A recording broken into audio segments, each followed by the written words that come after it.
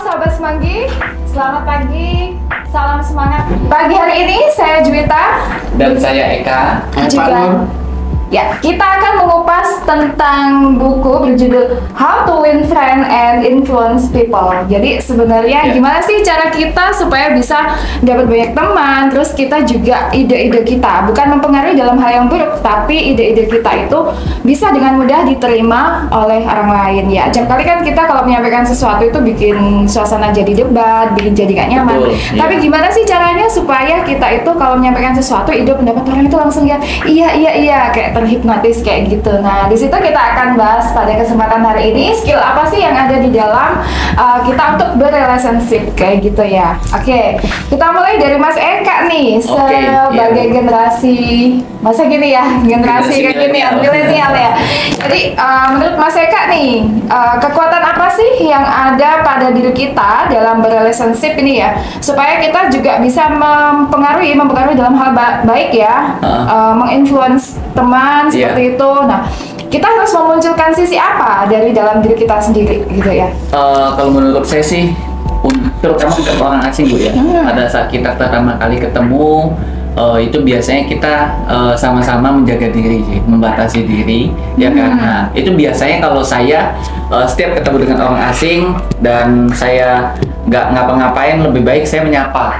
Oke. saya apa menyapa dulu dan ya? nyapa itu tentunya saya ya ya awali mungkin dengan sen- apa senyum salam sapa lah gitu bu ya ya bahasa basi namanya siapa mas gitu kan Iya. Eh, dengan gitu nanti kita baru tahu lawan bicara kita tuh enak nggak orang ini merasa terganggu nggak kalau kita ajak ngobrol gitu Oke. biasa ya ya itu sih kalau yang penting itu dalam komunikasi ya ada ya senyum salam sapa itu kita awali gitu. Oke, menyapa dengan senang hati, dengan Betul, tulus, dengan iya. senyum ya, Iya. senyum yang tulus ya. Iya, Orang betul. pasti dipastikan bisa respect ya Pak sama kita ya. Hmm. Pasang mukanya yang cantik, gitu, Iya. yang cakep gitu ya. Oke, Betul. ya. Betul. Soalnya kalau Hmm. kita eh, menyapa itu kalau senyum itu kan kelihatan bu tulus apa enggaknya ya. Hmm, Iya bu ya. iya, Dan orang iya. bisa merasakan oh ini senyumnya Oke. terpaksa ini kayak. Iya, Dan iya, itu pun iya. ngobrol pun nanti akhirnya jadi nggak enak. Iya, Gitu. hmm, ada senyum kecut gitu kan Iya. ya, ada senyum kayak yang ngejek gitu ya. Iya. Tapi kalau kita benar-benar yang welcome gitu, akan terlihat dari ekspres- ekspresinya kita Iya. gitu ya. Sehingga eh, partner yang kita, lawannya kita pasti akan memberikan respect juga gitu Iya, ya Mas responnya Eka ya. gitu. Oke, bagus sekali dari Mas Eka ya. Jadi benar-benar harus mengeluarkan dari dalam hati nih, Ah. tulus untuk tersenyum dan menyapa gitu. Betul. Kita terbuka untuk menerima dia gitu Iya. kan dia. Bapak Nur, gimana nih Pak? Bapak yang lebih senior nih, pasti punya teknik yang luar biasa ya. Untuk terutama dengan kita kita yang lebih muda nih, yang kadang Iya. agak pencilaan. sama Iya gimana Pak Nur? ya nek, nek, kalau saya kita nek bertemu orang asing pertama ya contoh aja kita di kalau di kendaraan atau di bis lah Mm-mm. Nah, kita duduk berdua ya kita duduk lah kita mau kenalan nggak kenalan nggak apa mau mau nggak Cewek apa cowok nih Pak? Nah.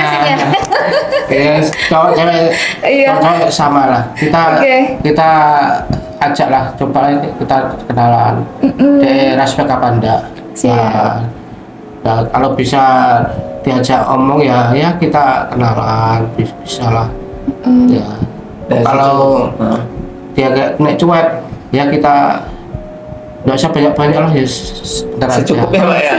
Ya, kalau kalau dia respect kita kita jamu bisa enak lah nggak sampai kita lupa sampai tujuan sudah nyampe itu. eh, Ngobrol terus sama ngobrol dia. Iya. Kalau dia kok sama ini kok kok gak enak ono kok oh kok gak enak Nggak lah nggak diteruskan lah. Iya. Iya. sebentar aja gitu lah. Dan menurut saya gitu aja. Oke, berarti kita ngelihat respon lawan bicara kita ya. Nah, Kalau iya. dia aware, dia juga care, kita bisa lanjut nih ke pembicaraan selanjutnya. Tapi kalau Betul. ternyata dianya ada menutup diri, kan tidak semua orang tuh. Iya, betul. Ada extrovert ada introvert bu ya. eh, tidak semua orang kan. Nah, mungkin orang yang merasa, ih apa sih gitu ya, Nah. terganggu gitu ya. Itu jadi eh, teman-teman kita di kesan pertama itu udah bisa nangkep nih sinyalnya dari res- responnya dari Betul. lawan bicara kita gitu ya. Bolehlah kita semakin dalam, semakin deep ngobrolnya kalau dia welcome gitu ya. Iya. Oke, berbicara tentang seni untuk eh, mempengaruhi atau mendapatkan teman gitu ya. Ini akan sangat bermanfaat sekali buat kita di dunia pekerjaan yang pen- eh, yang nomor satu itu Iya. karena kita di sebuah lembaga. Eh, yang kedua adalah ketika kita di luar sana untuk self branding kita juga gitu ya, di Iya, mana eh, kita tidak lepas dari yang namanya bersosial di mana pun itu ya untuk tujuan pekerjaan, untuk bertujuan bersosialisasi di lingkungan tempat tinggal kita seperti Iya. itu kan ya kan. Nah kalau misalnya nih secara di tempat kerja kita sehari-hari nih, kalau kita punya kekuatan untuk menyampaikan ide, berbicara, menyampaikan ide kita ini bukan dengan yang frontal ya, tetapi dengan penjelasan-penjelasan yang masuk akal. Nah seperti itu itu akan memudah komunikasikan eh, komunikasi kita lebih mudah dengan atasan dengan sesama teman nih. Ada nggak sih contoh real ya dari Mas Eka ya tentang teknik eh, berbicara terhadap eh, sesama tim ya pasti punya satu tim nih tim Iya. yang kecil skupnya Mas Eka dan Pak Nur sendiri dan tim yang besar di eh, company sini ya di eh, tempat kita bekerja. Nah nih gimana sih teknis dari Mas Eka? Terkadang kita kan nggak sama terus nih pendapat Betul. seperti itu ya. Tapi Iya. kan kita nggak mau sama ya. Oh, Pak ya nggak mau sama teman kita kontras gitu loh. Ah, betul, betul. Nah teknik menyampaikan komunikasi ya. Nah itu seperti apa sih yang Mas Eka selama ini gunakan gitu sehingga even ada crash sedikit ya sudahlah itu hal wajar. Tapi kita let going aja gitu. Gimana Mas Eka? Eh, kalau saya sih misalnya dalam sebuah tim, at- iya eh, dalam sebuah tim misalnya kita ada target untuk membuat eh, sebuah video bu ya, sebuah konsep video, eh, entah itu video kompetisi atau video yang akan ditampilkan lah ya. Ya. Itu biasanya eh, tim itu kan cenderung mereka itu ada yang nggak kalau nggak ada yang mulai nggak mau gitu. Oke. Iya, Bu, Terus ya. ada pionirnya dulu nih. Iya. Lo ngomong aja. Kadang, kadang kalau kita diam-diam gitu. semuanya diam-diaman, Hmm, ya kan Bu. Nah ya, di sini biasanya eh, saya awalnya itu saya pertama menyusun sebuah konsep dulu. Saya Ya. buat konsep saya sendiri, ya kan. Ini tujuannya untuk memancing dari mereka. Oke. Ya kan. Nah nanti pada saat kita present, kita kumpul bareng di situ saya jelasin, eh ini aku ada konsep, konsep gini gini gini gini. Hmm. Nah ini gimana? Saya tahu pasti ada yang nggak setuju. Nanti di Oke. situ baru muncul masukan eh kalau dibuat gini gimana akhirnya yang satu yang B keluar ide kayak gitu terus yang C gini akhirnya eh, sudah keluar semua idenya ya kan Eh, baru kita kumpulkan nah kalau ini kita coret kita masukkan yang ini ide dari yang B yang C kita masukin itu gimana akhirnya jadilah sebuah kesimpulan dan finishingnya di situ jadi ya harus ada semacam eh, umpannya dulu sih bu Iya, umpannya umpan dulu dan ya. kita juga di Hmm. situ untuk menghindari perdebatan gimana caranya eh, agar setiap eh, masukan yang dikasih itu eh, kita lemparkan balik ya Oke. kan kalau kita kasih saran kalau gini gimana kita gimana sehingga di situ nggak ada yang eh, saling cemburu atau saling memberatkan lah Oke. Gitu Oke, berarti sebenarnya kita itu sebenarnya memfasilitasi aja untuk kita memberikan umpan dulu. betul kan betul. eh, tadi banyak yang pasif gitu ya Iya. yang pasif sehingga Mas Eka gimana caranya sih nge-trigger mereka dulu gitu Iya. kasih umpan habis itu mereka feedbacknya seperti apa nah Betul, kita iya. tektokkan di situ gitu Iya. ya jadi Ah. yang namanya komunikasi ini akan terjalin dengan bagus kalau ada feedback dari lawan gitu kan ya Betul, dan iya. tidak terkesan memaksa nih idenya Mas Iya. Eka tapi secara tidak langsung dia udah berhasil mempengaruhi ya Pak ya Iya. udah berhasil Iya. mempengaruhi teman-teman untuk ngikutin nih Iya. gimana nih eh, caranya untuk bisa mencapai target satu project eh, event bikin video atau bikin konten atau apa pun itu dengan konsepnya Mas Eka tapi Iya. tidak eh, mengesampingkan teman-teman tetap idenya diakomodir kayak gitu Iya. ya Mas Eka ya. Luar biasa tekniknya Mas Eka ya oke kalau dari Pak Nur nih gimana nih Pak Eh, dari pengalaman sehari-hari ya hal simpel-simpel Iya. aja kalau pengalaman di ya, di tim saya Iya. ya, kita harus saling ya bagi tugas. Yang penting bagi tugas. Kita jadi supaya kan enggak apa ya Nggak oyo-oyo iri-irian apa Nggak iri-irian, iya. Iya. bagi tugas ini kamu nanti ke sini kamu nanti ke sini kamu tadi nah pokoknya se- sementing itu koordinasi sama tim koordinasi yang penting tuh. Jangan sampai ada rasa Ada ini kan Mm-mm. aku kok digini aku tadi lah iya. jadi komunikasi itu yang penting dan kita kerjakan lah bareng-bareng. Apa yang jadi supaya semua tidak menumpuk pekerjaannya di ayo kamu ke sana kamu ke sana lagi. Kita kerja bareng-bareng. Jadi kita biar cepat selesai jadi enak. Kita tidak berat untuk bekerja Iya. Hmm. Iya.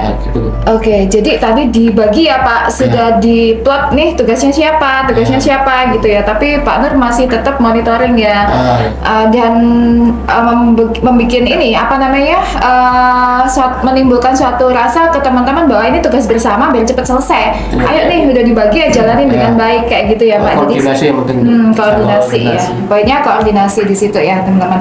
Oke, nah eh, mungkin sih secara untuk mempengaruhi orang ini kalau saya pribadi di dunia marketing ini penting banget ya. Seperti Ya. kalau kita ngomong bikin orang terhipnotis langsung beli gitu. Maunya langsung beli gitu ya. Itu adalah Iya, Bu, pastinya. teknik eh, eh, teknik hipno- hipnoterapi ya untuk untuk kita ya, hypnoselling ya.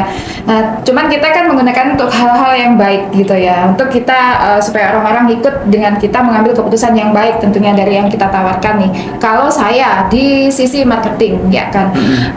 Menurut Mas Eka nih, kalau misalnya kita bisa mempengaruhi orang ide-ide kita ini ya contoh eh, public figure ya seperti Meridiana.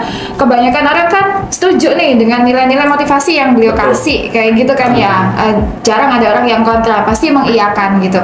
Nah, kalau dari Mas Eka sendiri yang dimaksud dengan mempengaruhi orang di sini itu eh, sejauh apa sih gitu loh? Seperti apa sih untuk influence orang supaya bisa bisa follow kita gitu ya. Sekarang kan sistemnya kan eh, follower ya. Betul, Jadi betul. kita gimana sih supaya orang bisa ngikut, bisa banyak follow kita kalau dar- dari Mas Eka ya secara self branding lah ya, secara diri sendiri itu itu Hmm. gimana? Karena kan eh, tidak tidak semua orang gitu loh. Banyak orang yang masa untuk eh eh, ngikut saya yuk, subscribe saya, follow. Tapi kita gimana sih caranya supaya bisa Iya. dengan sendirinya menimbulkan uh, keinginan itu gitu loh. Kita harus memunculkan uh, kualitas atau value diri kita yang seperti apa Mas Eka? Mm, Kalau menurut saya sih eh, ini masih belajar bu ya, saya bu ya. Gak apa-apa, aku Iya. juga belajar. Tapi kalau Bu Juwita nanya itu gimana sih cara yang Iya, mempengaruhi dari orang itu sendiri. biar mereka bisa mengikut Heeh. kita tanpa harus terpaksa. Betul, dengan Ya kan? senang hati. Dengan senang Iya, hati, ya kan? dengan Itu, senang hati. eh, mungkin kita harus memunculkan atau memberikan apa yang mereka butuhkan dulu sih bu. Hmm. Apa yang mereka butuhkan Iya. atau apa yang mereka cari. Oke. Ya dari situ mungkin kita bisa mengangkat eh, apa eh, problem Mm-mm. yang sedang mereka alami misalnya Oke. gitu ya kan misalnya kita sedang memberikan edukasi ya kan bu edukasi anggaplah sebuah channel YouTube ya Oke. se, youtuber itu dia membuat eh, pasti kan channel youtuber apa YouTube itu kan pasti banyak banyak bu kategorinya Iya. ada yang tentang tips tutorial Yes. Mm-mm. ada yang tentang tentang bis, tip apa motivasi bisnis yang kayak Mary Riana tadi nah itu pasti mereka sudah tersegmen ya kan? Bu? oke. Eh, jadi misalnya anggaplah tutorial ya kan? Di situ ada berba- berbagai macam tutorial tentang dunia gadget misalnya. Cara eh, apa? Eh, menghapus background misalnya. Itu tutorial Oke, editing ya bu ya. oke. cara eh, mengcropping sebuah foto itu gimana ya kan? Dan orang yang membutuhkan itu dan ingin belajar tentang seputar tutorial itu pasti dia akan mengikuti channel itu tanpa harus Iya. terpaksa begitu juga dengan yang channelnya Mary Riana yang isinya motivasi Iya. mungkin orang yang sering merasa dirinya di ambang batas ah, di apa ya selalu galau ya kan Oke, tentang masa oke. depannya atau Saya nggak galau, tapi saya suka Iya, ya kan? Atau mereka selalu butuh merefresh dirinya Hmm. biar termotivasi terus setiap pagi betul. afirmasi. Dia pasti akan mengikuti channel Mary Riana karena Oke. itu yang dia butuhkan sih bu. Jadi lebih pada need ya, lebih Betul. pada kebutuhan. Jadi Kebutuhan. kalau untuk Mas Eka ini kebetulan beliau adalah konten kreator di tempat kami gitu ya. Hmm. Jadi beliau kalau untuk uh, membuat satu konten, idenya dimunculkan dari apa yang menjadi need atau kebutuhan Iya. Mayoritas orang gitu ya, Betul. Iya. kebanyakan orang. Jadi dengan yakin pasti karena itu sifatnya edukatif ya, Iya. seperti itu ya, bukan hanya sekedar motivasi bisnis Iya. atau apa. Ini akan sangat dibutuhkan sekali gitu ya. Nah di situ. Mas Eka memunculkan untuk mempengaruhi orang untuk follow ke akunnya dia. Nah itu bukan dengan cara uh, memaksa ya, tetapi Betul. memang orang ini butuh banget nih, sehingga Iya. mau nggak mau ya ya dia pasti subscribe karena dia yakin nanti ke depannya konten-kontennya juga akan sangat membantu juga Ah. sebaran itu gitu ya. Oke Mas Eka, thank you. Nah Pak Nur, kalau Pak Nur nih sebagai yang lebih senior dari kita gitu kan ya. Sama. senior secara pengalamannya nih, ya kan Pak ya? Lebih dulu banyak pengalamannya nih. Jadi eh, saya jujur pertama kali di sini tuh kayak merasa agak asing, sungkan nih mau nyapa bapak ini karena lebih senior. Tapi ternyata ya Biasa-biasa. beliau kan banget gitu loh. Ngomongnya ini enak gitu loh, merasa tenang gitu loh. Ini kan salah satu skill yang dimiliki oleh beliau terhadap Iya. saya nih orang yang baru gitu ya.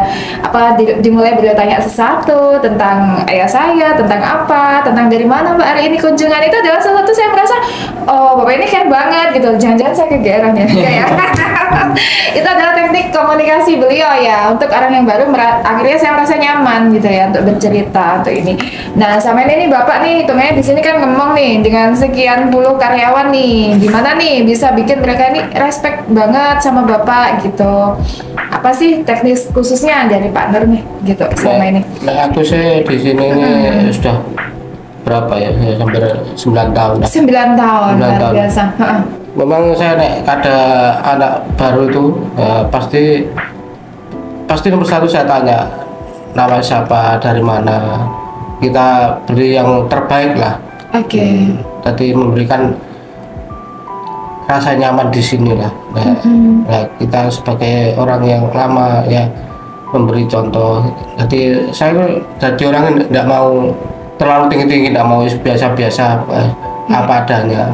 Jadi kita ajak ngobrol gitu. ya dari mana nama siapa yaitu ya karakter saya dari dulu ya gitu.